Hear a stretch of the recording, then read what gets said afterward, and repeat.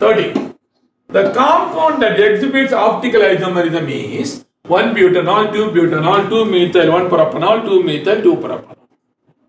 Which is optically active, which shows optical isomerism.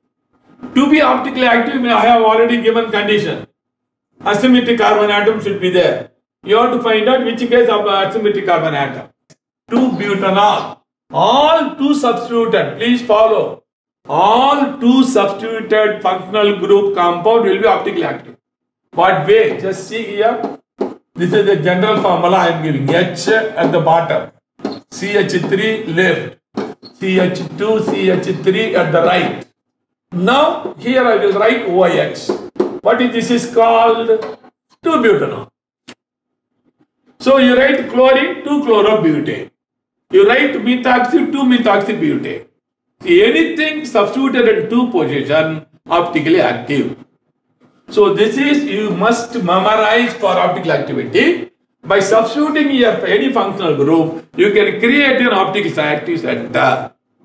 So, correct answer is B, 2-butanol.